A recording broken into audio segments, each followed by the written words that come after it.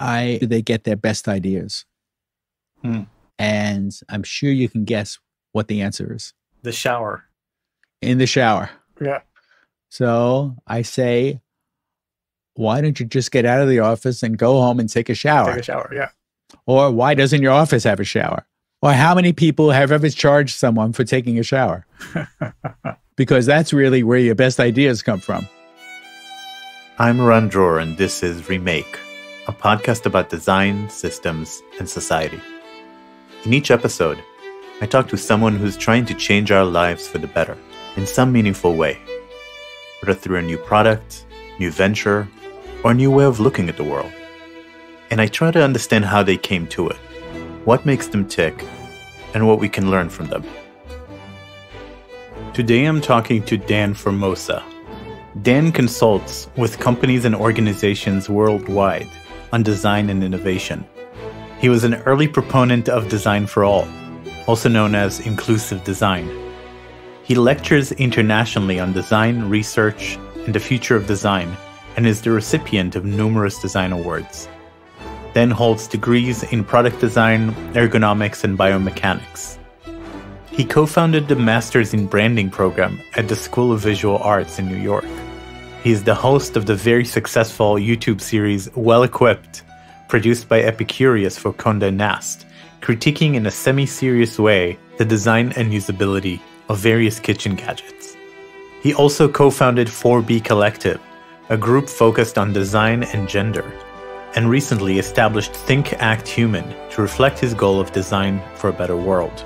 We talked in the middle of April 2022, and I was looking forward to chatting with Dan when I watched his hilarious and informative product review videos he's done with Epicurious, where he takes a kitchen gadget and critiques every aspect of its design, ergonomics, function.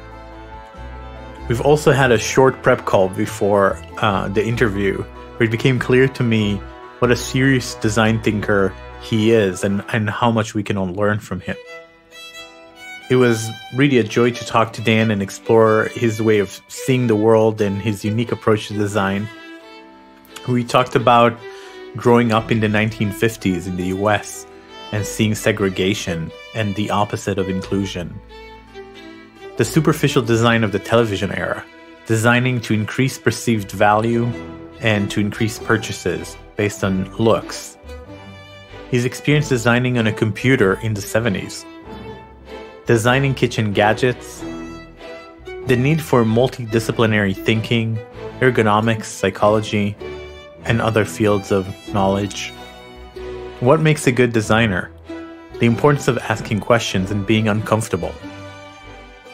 We talk about a connection of design and religious studies, meditation and mindfulness as tools for a designer. We talk about design and inclusion, the 4B collective, gender and design, the model of collective versus agency, and the difference between a process based approach versus a knowledge based approach in design. We talk about qualitative versus quantitative metrics and the death of the brand. Talking to Dan really gave me a sense of the evolution of design over the decades, something that I've been aware of in a fragmentary way only.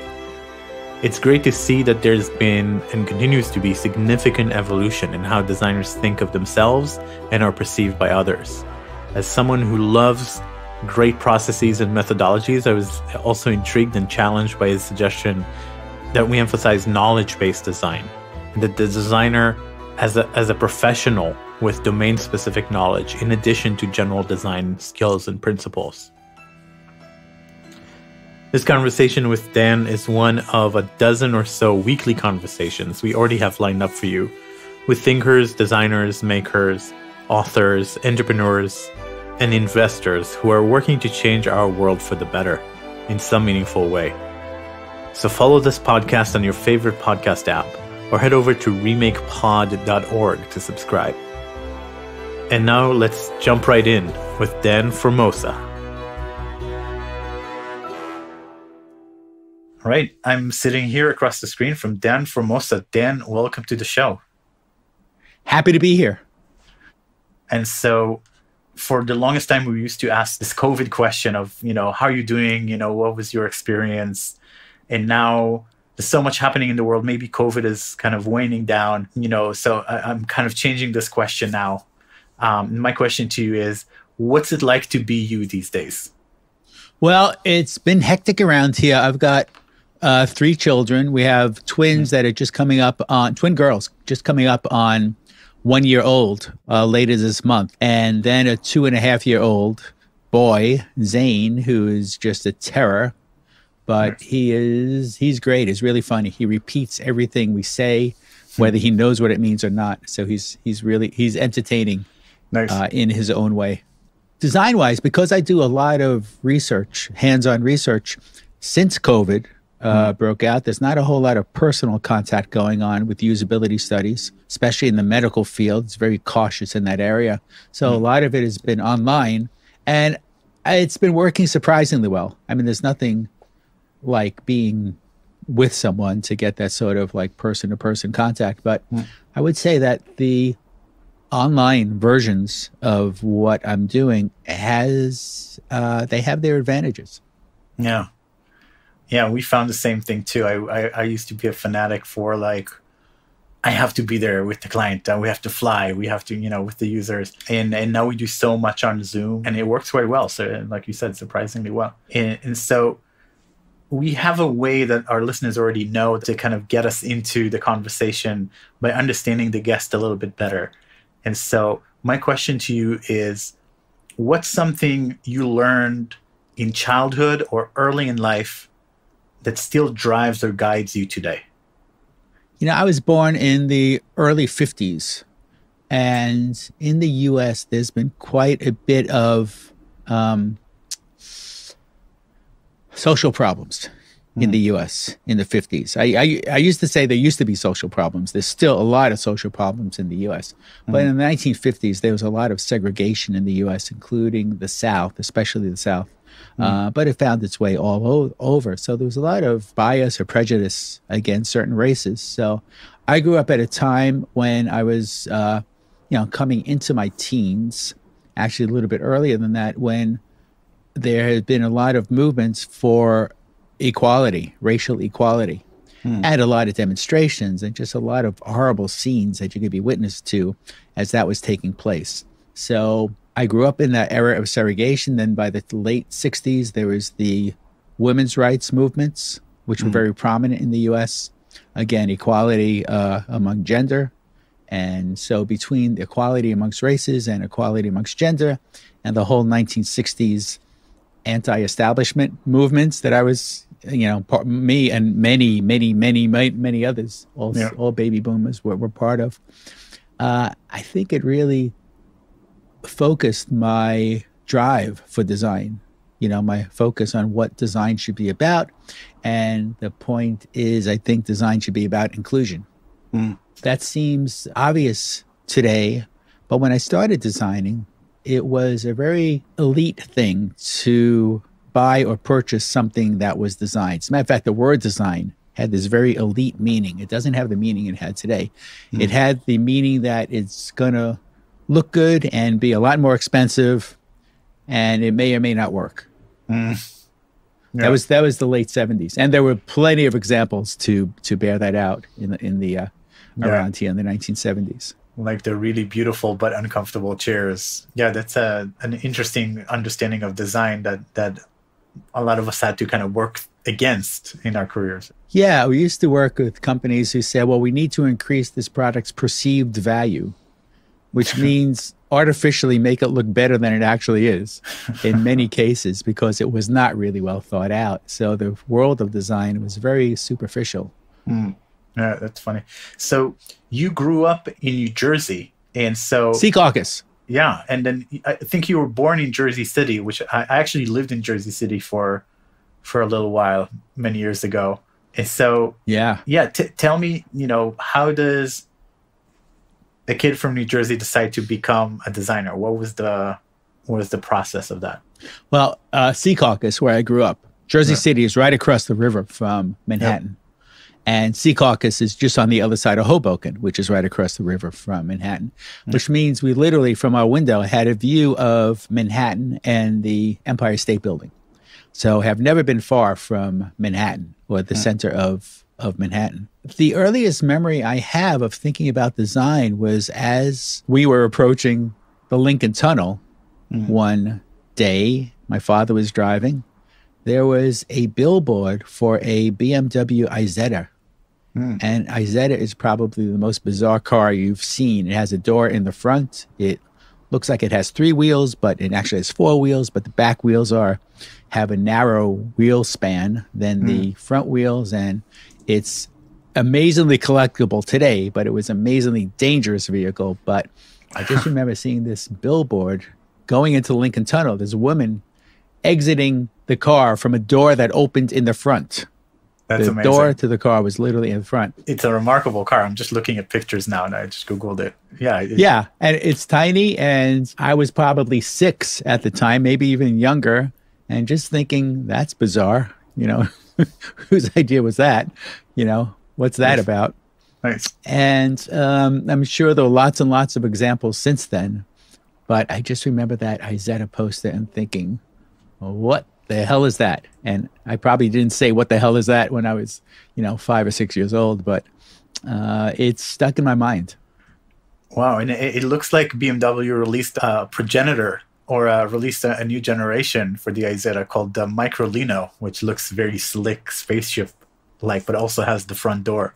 Yeah, I I'm not sure that front door is the best idea in the world. Yeah. Strangely enough, many many many years later, I had a house in New Jersey and a next door neighbor moved in and he had a beautiful, beautiful, beautifully restored Isetta. And I'm thinking, wow, how rare is that? That's amazing. So I checked it out. I showed it to me. I'm thinking, wow, this is super rare. Weeks later, though, I looked out my window and the Isetta Club was having a meeting. so there were six of these in his driveway, all beautifully restored. Uh, I haven't seen one since, but they are really hard to find, uh, yeah. really hard to see. But yeah, that's a very very early memory of design entering my my my brain. And, and so I I heard the story of which which is actually quite common uh, between our designer guests is like you you really liked both science and art and you were kind of wondering where to go uh, with that. So is that um, so how did it come about that like from being good at both of these things that you you ended up studying design? I was in a high school that had a really good science department and chemistry departments. And I was good at math. You know, I was pretty good, I should say, in math class. And coming out of high school, or at least when I was starting to think, well, where do I go now? What, what, where do I start applying to schools? I'm thinking, should I go to an art school? Because I was super interested in that as well. Mm. Uh, or should I go to engineering? And it was at the last minute that one of my advisors, I think it was my art teacher, that said, maybe you should think about design as a career, you know, industrial design. And I said, great, what's that? And I looked into it and pulled a portfolio together because the design program I went to at Syracuse University was based in an art school, as many design programs are. Mm. And I pulled a portfolio together and sneaked in, right? I got in, I got accepted, and I went to uh, get a design degree. I was very interested in designing for people and understanding how products related to the body. And so much of what I was doing had some sort of ergonomic tact to it. I was mm. always thinking, well, the product's nice, but what about the rest of the body that has to use the product? So I would try very hard, not just do sketches of products, but sketches of products that had a hand in it in the mm. sketch, mm. you know, or I tried very hard to mm. get bodies inside the photographs of my products because that is the purpose of the product. And that is definitely something that needs to be considered. Mm. That also sounds obvious, but not everyone was doing that. Yeah. The other thing I did is I signed up for a computer graphics class, which was actually not had nothing to do with the design program at Syracuse, absolutely nothing to do. And graphics in the late 1970s on a computer basically didn't exist. So it was super, super crude. But I did take this very high level, I know as a graduate level course, which I just I was in there with a lot of science majors and I just wasn't doing that well in the course, but I was super interested. So, and this is the late 70s. I came into the design department one day with this very crude sketch of a wireframe of a plate and a bowl, which was our project. Let's design a plate and a bowl because yeah. we were looking at ceramics as the project. And so I was able to draw a line like the cross section, and I was able to spin it 360 degrees. So I had a wireframe mm. of this bowl and plate and cup. And I came into the design department, said, Well, here's my design for a bowl and plate, blah, blah, blah. And I was ostracized. It was the most evil thing I c- could have done. It was seen as I was, I was, I was a traitor. What are you doing? How are you going to design something on a computer? Do that by hand. It was just uh, the reaction was so negative that I would dare to use a computer to design something. That that was the last time I came, came into the design department with any attempt at designing anything. Mm. So, one of the things that is is very obvious today. So I, I was looking at your Epicurious videos, and you you seem to you know you you kind of evaluate these and, and play with them and then you do all sorts of little experiments with them. Uh, one of them I, you put some oil on your left hand to see if you can still grasp it and and, and it, you seem to take a lot of joy in the design process and in kind of not in tearing things apart but kind of breaking things apart to understand them and then thinking about how it fits with the larger system and the body. And was this always there from a young age or is this like did, did this joy kind of develop over the years how do you think about this joy of design i always like tinkering with things and i always like thinking of how things could be different or better hmm. the Epicurious series that i'm now hosting uh, yeah. probably two and a half years into it maybe close to three years into it started when i got an email out of the blue email from someone at Epicurious saying would you be interested in coming in and critiquing some kitchen gadgets for us, mm. you hmm. know, design wise, critique some kitchen gadgets. And I actually thought it was an odd request. And I Googled Epicurious, you know, to make sure I knew who they were. And waited for a couple of days and thinking, I don't know. But it was summer. And I'm thinking, well, maybe I should just get out of here and, you know, get out and do something. Maybe it's interesting. I can meet the Epicurious people, which is a, you know, division of Condé Nast. Mm. And so I kind of hesitated, but said, oh, okay, I'll come in and see what's going on. And we did this video that did exceptionally well in terms of the number of views. I should say mm. shockingly well. I was surprised how many people watched it. I think that initial video is now more than 7 million views. Wow. And it was a fun thing to do. But the premise is that the Epicurious team would find these very bizarre kitchen gadgets, just these very, very odd things. You mm. know, the more odd, the better. And they would kind of spring them on me to try. And it was fun to do. I mean, it was funny and funny thing to do. Yeah. I mentioned early on, as we were talking about the video, I said, you know, well, one of the things I do sometimes is uh, if I'm working with design teams or even for myself, we put soap on your hands and use mm. your opposite hand to use the product because it'll quickly point out places where you can improve something. Right. Because one slippery is what you're going to find in the kitchen anyway. In a very, very crude way, it simulates having some strength problems with your hand or dexterity problems with your hand and using your opposite hand, mm. which for me would be my left hand. Also points out some issues that you may not notice with your right hand. At least it exaggerates those issues. And it's uh, interesting technique for just a quick, quick, quick personal study. That's not the mm way you really do usability study, but as you're designing something. And because it was Epicurious, the soap turned into oil no. because we're in the kitchen. And you wouldn't do that with a prototype, with your precious prototype. Soap mm. is easier to clean up with your precious prototype. You wouldn't want to use oil. On the series now, I think we're up to 20 something, maybe close to 30 videos, more than 40 million views, which shocks yeah. me because the whole thing is just improvised. It's like you know, it's it seems like like that many people are just tuned into to home movies. You know, yeah. there's so much fun to shoot, but it does feel like I'm just doing a home movie yeah. because it's so improvised. And every episode, maybe even every product, I consider designing for a wide range of people. Mm. So I talk about how you need to consider a spectrum of people, not the average, but you need to uh, to consider everyone. Yeah. I think that's um yeah that's definitely part of the interest here, and it's good to have design celebrities, des- uh, designer celebrities. I think that the, the reason people are attracted to it is this just this mindset of why is it done like this? We all use products. Why is it made like this? Could it be better? Have you thought about you know these different things? And you make it so quick and easy to start thinking about it that I think it's almost like a glimpse into the designer's mind, which I think is probably what attracts people into it. I think people think that products pop out of machines. Mm. I don't think people think about the fact that there are people behind every product you see. I do think that when something is very well designed or somebody really likes something, they think about the people behind it.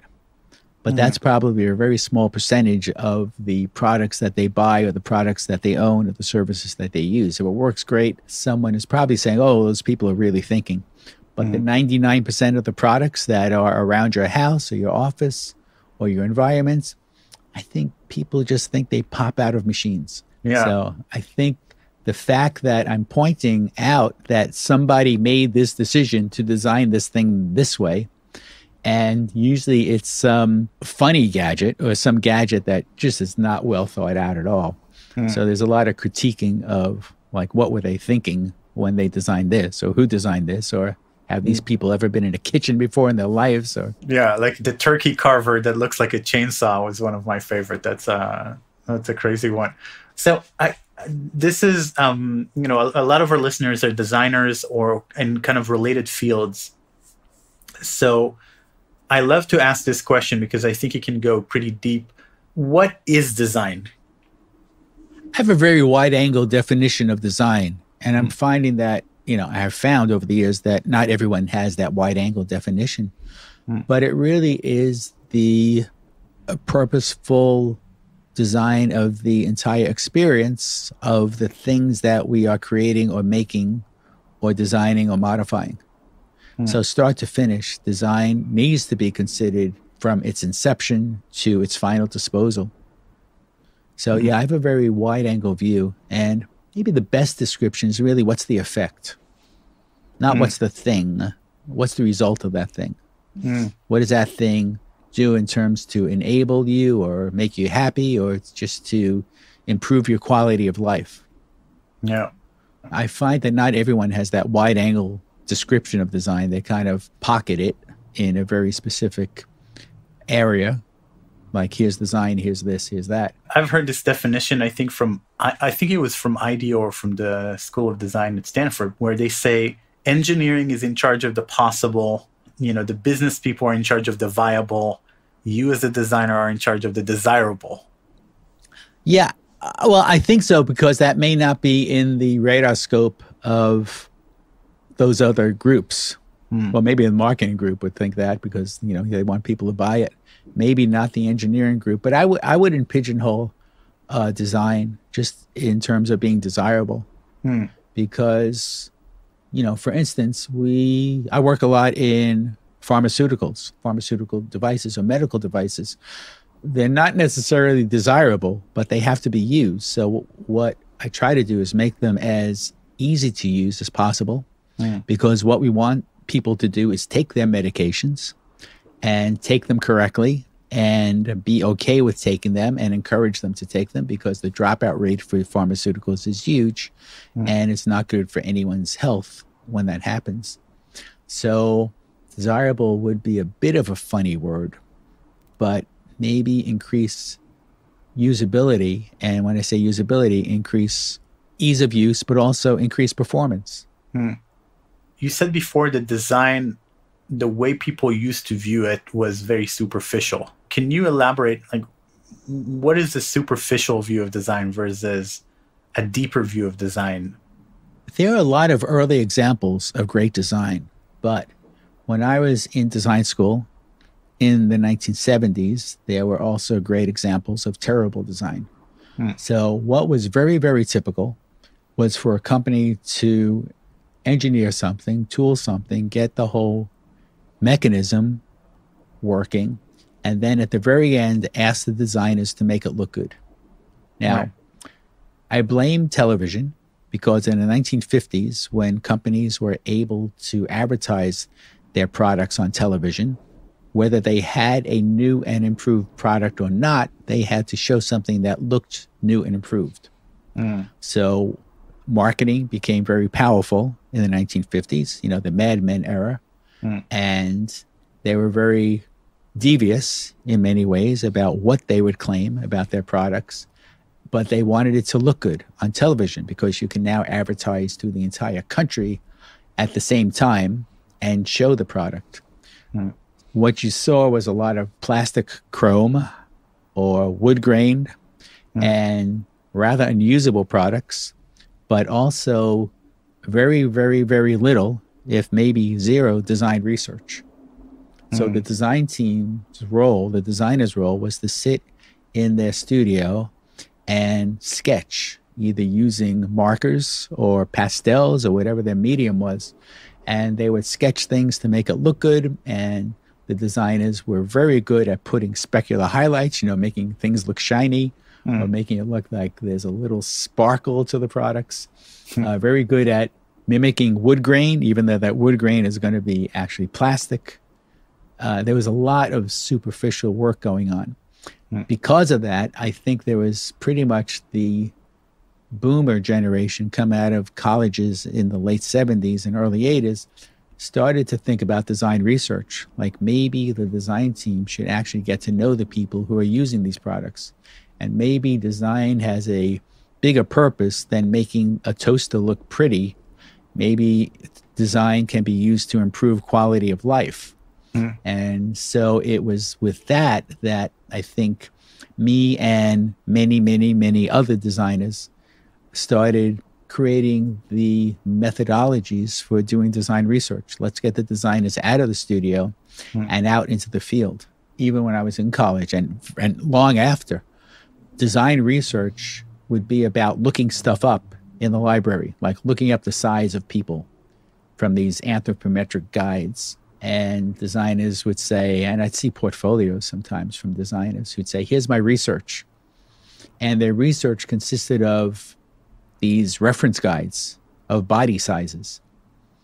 Or maybe they would take a piece of clay and squeeze it and say, here's the shape of my hand when I squeeze it. And that was the extent of their research. So design research really took a while to take off. And not every company in the world was saying, great, we have design research now, because the marketing groups were calling the shots and they were very used to calling the shots. And they were very used to saying, you don't need to talk to consumers. We'll tell you what the consumers want. Mm. Yeah. And so you continue from studying design uh, to then doing a master's and, and a PG in ergonomics and biomechanics and, and studying the body. And, and so what made you enter these fields from, from a position of design? Assuming that you still wanted to be a designer, what made you kind of go that, that route? I was designing a lot of products that people had to touch and interface with and hold and manipulate. Hmm. And I would be probably from a more amateur level, understanding how the body works or how the hand works or how the arm works or the rest of the body as well, mechanically, hmm. and decided that maybe I should just keep moving forward and get a degree in biomechanics. So I really get into understanding how bodies work and bones work, etc. And I went from there to a PhD now, and it certainly helps to, if you're going to design a product to understand how the hand works. Sure. I find a lot of designers and engineers don't understand how the hand works. So as a result, I give a lot of workshops to companies, whether it's medical companies or sports equipment companies or any number of design groups in just basic biomechanics, sometimes just in basic physics hmm. of you know how gravity works so right. that you understand the possibilities and also the limitations of usability. I speak a lot of design schools, you know, universities and design schools. And even now, the design schools will say, well, we're different. We're all about understanding people. Hmm. And I will say, well, do you have courses in ergonomics or biomechanics so that people understand the body? Hmm. And the answer would be no. And I say, well, how about psychology? Do you have courses in psychology or you know cognitive abilities so you understand how people think or what their mind's about? And they would say, no, we don't require psychology, we don't require ergonomics. I say, well, if you're not about the body and you're not about the brain, what part of the person are you about? And it usually ends up with blank stares. Hmm.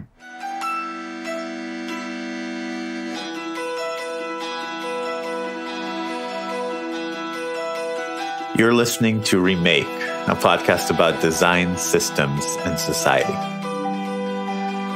If you're listening on a podcast app, you already know how to follow podcasts. So please follow this one.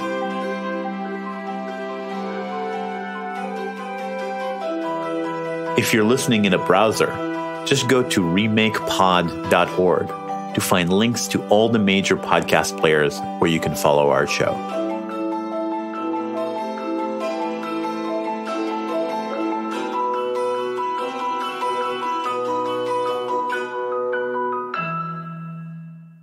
Yeah. So you you mentioned to me there's um, you know there's all these fields that we could you know expand into. So uh, obviously psychology and anatomy.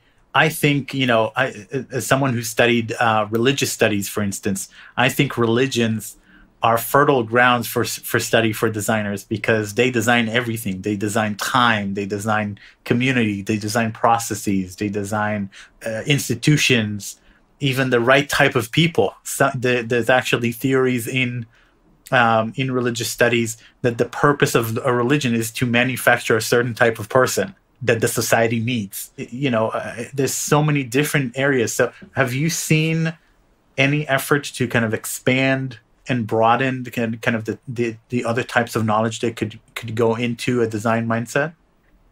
I think the more design gets into people's heads, that is a topic and that it is a thing that it is a thing.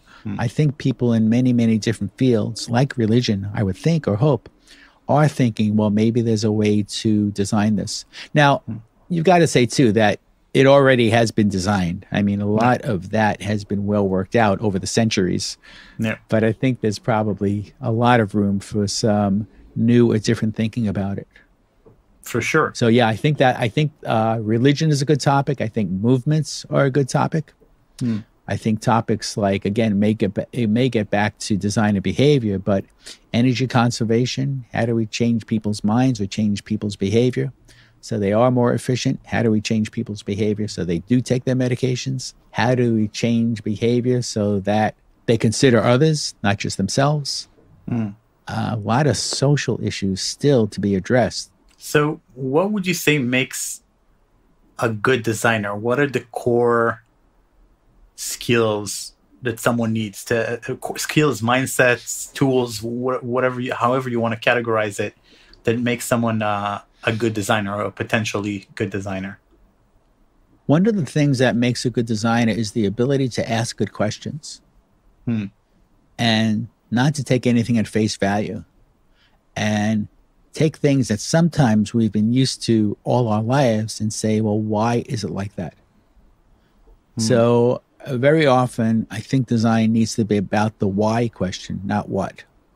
So, ask a really good why question and ask very innocent why questions without any bias or prejudice. So, once that is done and you get to some really good why questions, that really opens up a whole lot of thinking of what are the possibilities that this could be different, that our lives or someone's life could be different. Like, why are we doing it this way? Why does this even exist? Hmm. You know, new project comes in or a new opportunity for a product, and you may want to say, why is this even something to address? There's so many other important topics out there that possibly we could be addressed. And I could go on for an hour about this, and I have. Hmm. Yeah, you know, in, in giving our workshops and seminars, is how bad we are at asking questions. Because what we want to do is give answers. And the reason we want to give answers is because we have been trained since our first, well, even since birth, but, you know, first entry into school at kindergarten, we've always been rewarded for answers. Mm. We don't get rewarded for asking questions. And as time goes on, you know, as we grow up, questions tend to be a pain in the butt. Or if we're in school, we don't understand something. I'm not raising my hand. You know, Right. I hope someone else does because I don't get it, but I don't want to look stupid. Hmm. So questions can make us look stupid. And what I've noticed once that's been a bit of a revelation for me is that every meeting I'm in, I see a lot of people trying to come up with answers as opposed to come up with questions. So you sit in a conference room with a bunch of people talking about something and everyone has the solution. You know, everyone has the answer. Very, very few people will have questions or good questions. So we do have an adversity to questions. And I think being a good designer would uh, entail the opposite. And you, you also talk about feeling comfortable with uncertainty, with the unknown. So may, maybe that's also part of that that feeling that you need to be comfortable with to ask a question is to acknowledge that you don't know, is to is to is to sit with it. People are too content to be comfortable. People are not that good or feel uneasy about being uncomfortable, you know, entire teams, entire companies. But you can't innovate or you can't be even interesting as a product or service unless you push the boundaries a bit. And pushing those boundaries can make you or your team very uncomfortable. Hmm. So, what you got to do first is be okay with that. Another topic uh, along those lines is that if you are working within a budget and a schedule, you're probably not being in- innovative. You know, you can't innovate on a budget and a schedule. If you could, you would innovate all the time and you'd be an amazing person. Hmm. You also have to realize that working within a budget and a schedule also has its limitations. Of course, you want to push the boundaries as much as possible, but just keep in mind that you are working within lots of constraints and innovation doesn't like constraints. Yeah. And so a lot of these skills feel extremely soft, like the ability to ask questions, to sit with uncertainty, to imagine, you know, new solutions, etc. You know, can these things do you think be taught? Have you seen them successfully taught? It's possible, but I think designers have to get away from their desks in order to do that and visit the world once in a while, meaning get out of the desk and just go somewhere else to come up with concepts. I have told design groups or designers, why don't you just go home and work on this project because they're working on something for the kitchen, for example. I said, well, why don't you just go to your kitchen and sit there and design it? And they won't do it. They're more comfortable coming into an office and sitting at a desk in front of their computer designing a kitchen implements. Yeah. And that doesn't make sense to me, you know, Mm. but it is more comfort, I guess. There's a little uneasy, like you're supposed to be sitting in your chair in the office, just like you were supposed to be sitting in your chair at school. So there is this behavior that is based on voices in the back of the head, I think, that are saying you need to do this, you need to be here, you need to think this way, you need to be constrained, you need to think not out of the box, but within the box, you know, draw within the lines. Hmm. In order to encourage to encourage someone to be creative, I think a good way to do that is to think about small successes at a time. Hmm. You know, everybody likes success. And if you can point someone to something that could be creative, but with the path of least resistance or the highest level of success, the highest probability of success, then I think that's a good baby step to mm. get people to try something further the next time and further the next time and eventually become comfortable with the fact that they are uncomfortable, but confident that they are at least on the right path, or at least confident that being uncomfortable is part of their job. Yeah, I, I think you know one of my one of my experiences I, I I've experienced, for instance, meditation really making me a better designer uh, for a couple of reasons. One is mindfulness and kind of being more attentive to small details, Another is less reactivity. So, really being able to be in an uncomfortable situation without having to already formulate the perfect answer to it in that moment, being able to stay with the question and suddenly noticing that you're taking something for granted and maybe asking why. That's something that sometimes happens to me in meditation. I guess it's another place you could go off of the out of the office and into an ashram or something, uh, or a place where you can uh, uh, you can work on the way you see the world or the way you experience each moment one of the things this is reminded me of something when I give these workshops in design and innovation and you know the way we work, critiquing or thinking about the way we work, I often ask people where do they get their best ideas? Hmm. And I'm sure you can guess what the answer is. The shower. In the shower. Yeah.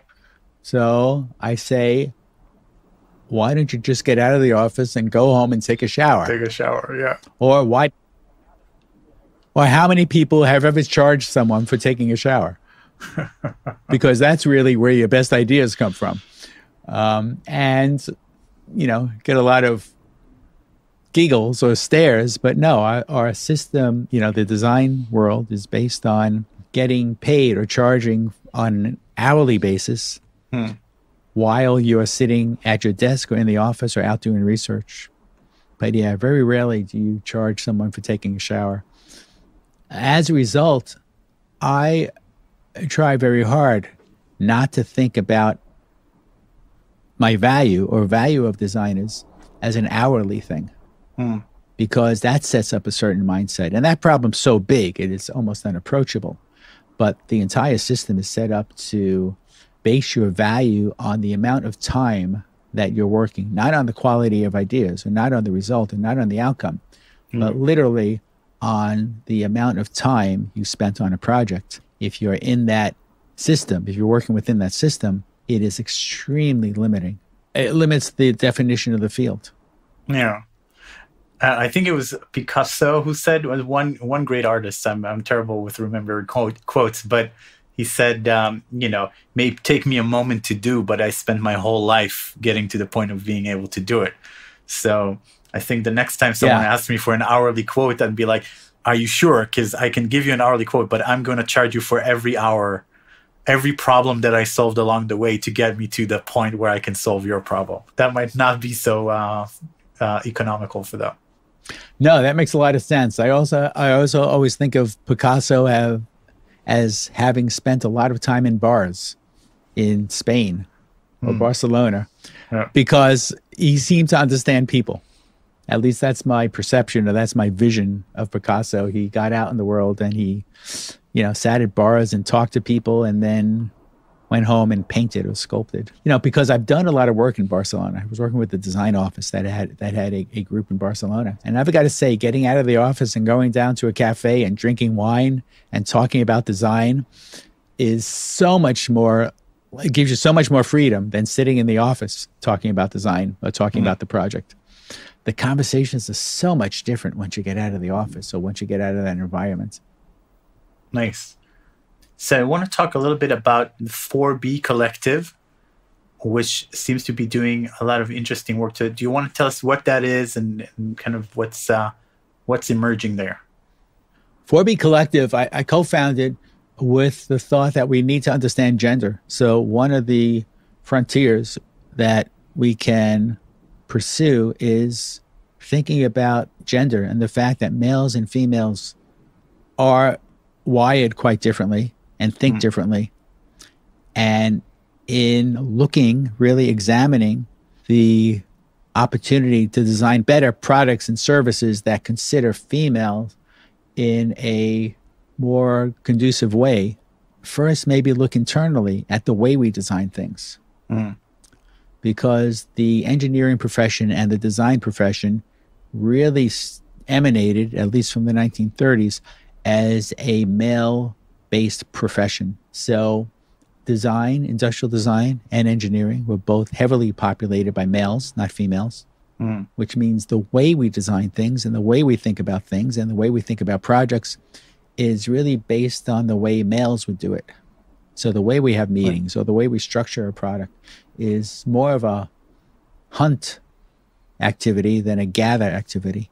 Mm. And as a result, you see an, a, an equal gender balance in engineering schools and you know 50-50 gender balance in design schools but not in the profession. So females get into those professions and somehow they feel uncomfortable it's not right or they drop out or they go into some other field uh, design related field that may be more female friendly Mm. but and i don't think it's an intentional thing by males. I just think the culture that evolved because it was so heavily populated by males the culture that evolved in engineering and design is very male biased and not very conducive to the way females would prefer to work. Let me say before I lose the thought is that often when I talk about gender, I talk it's very black and white. I talk about males and females. Females think this way, males think that way. Hmm. It's really a spectrum of thought, but it's so much easier just to talk in terms of males and females. But I don't mean to be so binary about it. But the way we design something is in itself a design, Yeah. and it doesn't need to be that way. Yeah. So why don't we think about the way we design things and see if there are other ways to design something or think about design? And so that's what 4B Collective is about. 4B stands for 4 billion females in the world. Hmm. And it is a collective, not an agency with a fixed number of people.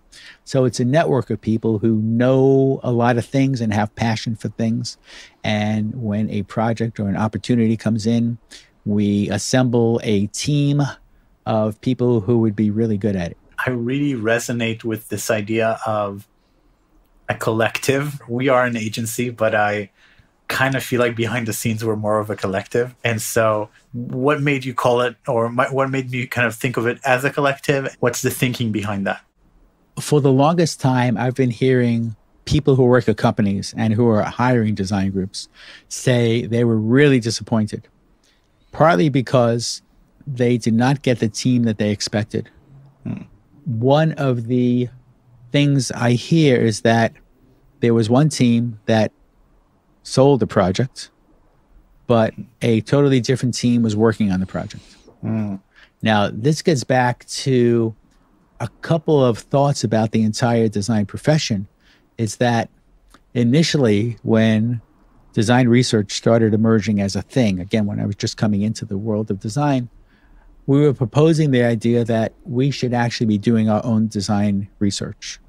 You know we used to call it market research. That didn't work. We called it design research and now you know it sounded like something that we own. Hmm. But we were saying to companies what we need to do is we need to meet people and consumers or the people who are going to use these products. We need to observe them. We need to do our own research. We need to do this early in the process. Let's do some initial research. Let's come through some ideation, which means let's make a lot of concepts. Let's let's mock things up. Let's do simulations with those products very early on. Let's try many different things on and on. Hmm. So that became a process that was being sold to companies or being delivered to companies throughout the 1980s and 1990s. And every design group around that time had their own version, own unique version of how they're going to approach design for this company and change the way they think about design. Mm-hmm. Every unique version was exactly the same. If you went from one design agency to the other, their unique version was just like the other design group's unique version. Yeah. So it wasn't that unique, but everyone was was selling this process of design. One thing that emerged out of that is the idea that design is a process. And what emerged out of that, which which is a little tricky with agencies, is that people get assigned. We need one of these people. We need one of these people. We need one of these people mm. because that's what falls into our process. Mm. So with an agency, the cost of a design project is rather high because so many people need to get involved. But also from the agency's point of view, it's rather easy to staff because you know a design agency's goal is to keep everyone billable. So we need someone to fill this process slot and we need someone to fill this process slot. So by turning it into a process, it's very easy to staff because you can, it's kind of like building a house. You could put anybody on that part of the, uh, on that part of the project, on that Yeah. slot of the project. Usually it's planned on it like a spreadsheet. And you say, we need someone here, someone here, someone. Yeah, exactly. They're interchangeable. As a result, you see a lot of people with not a whole lot of experience or background or even passion for a project being assigned to a project. So, mm. what you tend to get on a project is not the most appropriate people. What you tend to get are the most available people. Right. Like, who's not busy in our office next week because we've got to fill these slots. Right. And so that works to a point if you think about the process, but it doesn't add a whole lot of knowledge or experience to the field of design. So one of the things I push for is whether we can move from a process-based approach, which is ingrained in design's culture at this point, to a knowledge-based approach. Mm. Can we actually put people on projects who know things? Mm. One of the other tricks with designers or design agencies is once you get really good at something, you become a manager, not the actual designer. Right. So you move away from design. The better you get at design or the more experience you have, the less design work you do. Yeah. We've we've run into this. So I've worked in agencies and when when I started this company, I, I decided to go a very separate way because I think a lot of what you're you're saying comes from the wrong model of growth where growth entails doing more projects always more and more projects and then you need more and more people and then people have to become interchangeable because you have to be able to you know all your existing people are busy and then you get a new project and you you have to say yes to it. And i i knew having having been part of one of the fastest growing agencies uh, in america knew that i wasn't digging that model of growth because people are not interchangeable and so thinking about growth differently as may, maybe having more impact maybe charging more maybe doing a better job right? Th- these different models of growth that are not industrial uh, when it comes to people solving hard problems. Yeah, and you know, charging more actually comes down to maybe charging the same, but doing it more efficiently for the people who are working on the project. right. So you know, should we hire should we hire like a junior designer for five days, or should we hire you for two days? right Because you may have the same level of outcome or the same number of ideas, or at least should you should there be more uh, mentoring in the world of design? Because there's not a lot of transfer of knowledge. You know, you get people on a design project who didn't even see, have no knowledge of the project that the client saw that they thought would be a good reason to hire this agency. Hmm. The other thing I've seen is that, let's say you're working on a project for five, you're scheduled for a project for five days. And so you start on Monday, you come out with a great idea on Wednesday, you're done, right? You've done it. I've got it. What do you do Thursday and Friday? You work on it. You, you massage it, you color it, you know, you sketch it, you do minor variations. Hmm. So even if you're able to do something quicker, you play out those five days. Yeah. So you're not actually more efficient because you are not scheduled to finish until Friday. yeah So it sets up, it sets up an, an odd mind, mindset. Hmm. So yeah, I think there are some things that in the profession itself can be redesigned, and I think the collective model breaks that because you can actually find people who know stuff and assemble teams based on that. Yeah, that's fascinating. That's great. So I want to ask about quantitative versus qualitative and how you approach this idea of metrics in a design process of, of you know kind of KPIs. in terms of design and metrics, you know, one of the problems I think we have with design is there are no metrics in design. And because of that, one, we don't express our value because we can't quantify it. Secondly, we don't learn that much because we can't quantify it. So, one of the things I noticed very early on is that by measuring things, we can be very effective in understanding things. And I did it, you know, with a background in biomechanics and think about like fit and comfort of products. You know, you want to understand people's bodies and you want to measure things and understand the spectrum of sizes that you need to accommodate, etc. Hmm. So very, very early on in some of my very first design projects, I was doing some very unusual quantitative studies on body sizes, but also in perception and measuring perceptions. Like, because if you want to find out if something is comfortable, what you have to do is ask someone mm. and maybe ask them to rate the level of comfort. You know, if you're measuring body sizes, then you could just use some calipers and measure body sizes and see what the variation is, mm. or you know, see how something's going to physically fit the body. But you also may ask how comfortable it is because comfortable brings in perception. If you combine the two, that's pretty interesting because now you see if I make this change here, look how the perception changed here. So very early on, I was into quantifying and found two things. One, the idea of doing something a little more cutting edge was a lot more acceptable because we had a lot of backup mm. that we can go in that direction. We can push the envelope because look what the results are. Mm. Also, because we're pushing the envelope in a direction that was based on the evidence that we saw. So now we can get a lot more innovative and a lot more creative. I guess the other thing I should say is that there's a sense that quantifying is not creative. Quantifying is super creative. Mm. So you can get a lot more creative if you quantify things. So you can get a lot more effective in convincing people that this is the way to go. And the other thing is you learn things. You learn about perception, you learn about body sizes, and you learn about variability. And you learn about a whole lot of things that you may not have noticed if you were not quantifying things, or even if you were just doing some qualitative research.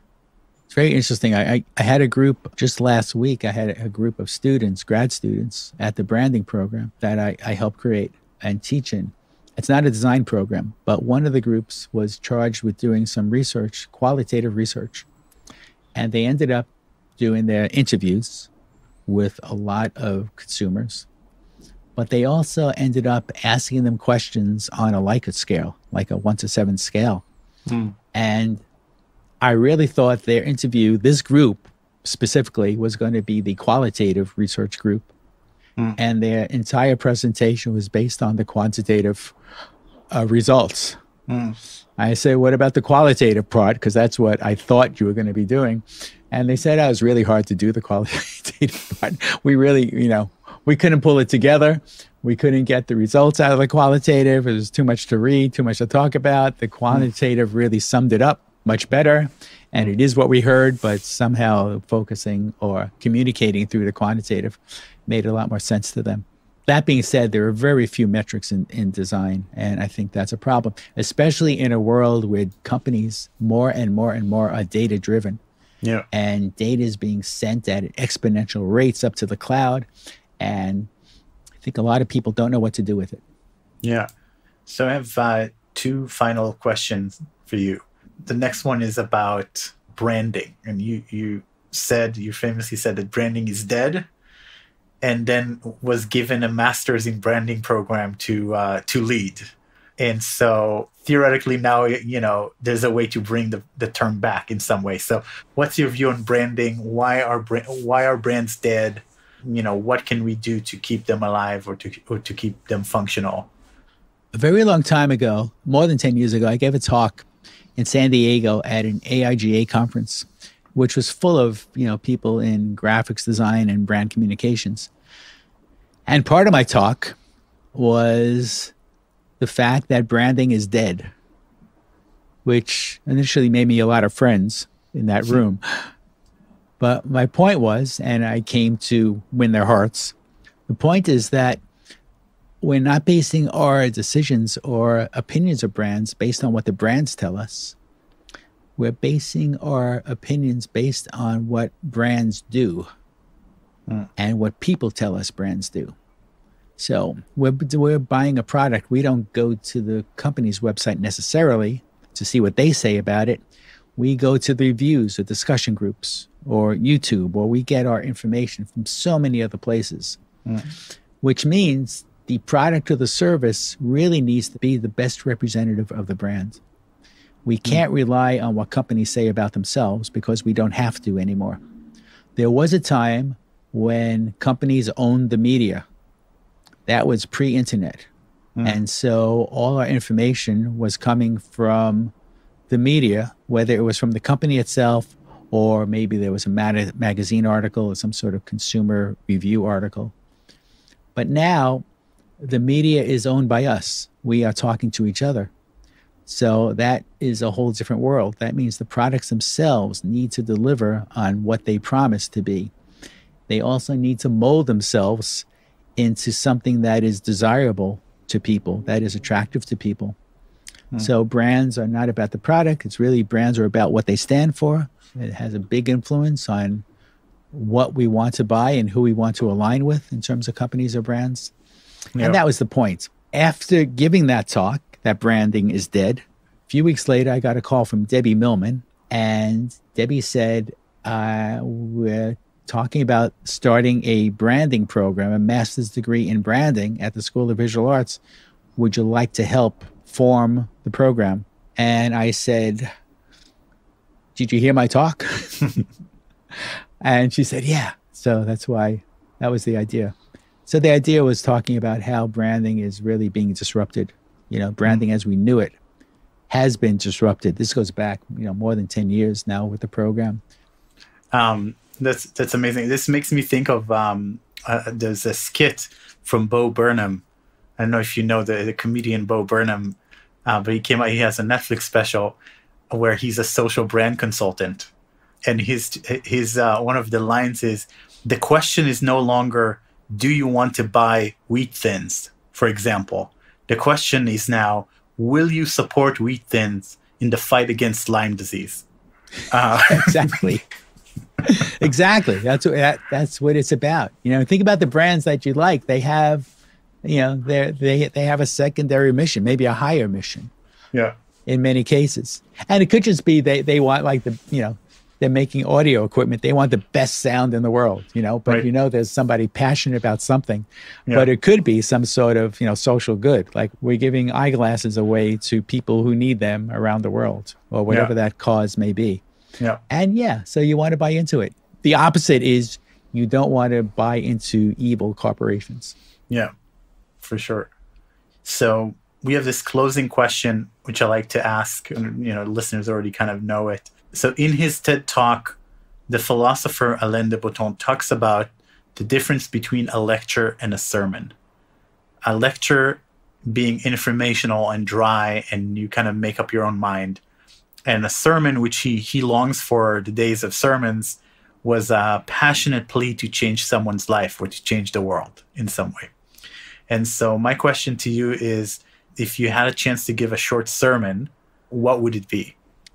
My sermon, and I think I do this a lot, would cover a whole lot of topics, but mainly it's about being inclusive and thinking about everybody. That doesn't mean designing the same thing for everybody, but think about design in its power to change our lives and improve our lives and to solve problems and to make our world a better place and think wide about it. Don't think about limitations, but think about the power of design and where it is now, but more importantly, where we can take it. Wonderful. Thank you, Dan, so much for taking the time to speak to us today. I really enjoyed talking with you. Thanks a lot for the invitation. Remake is produced by myself and Regina Rothstein. Research and editing by Louis Brady. And audio engineering by Greg Cocoveos.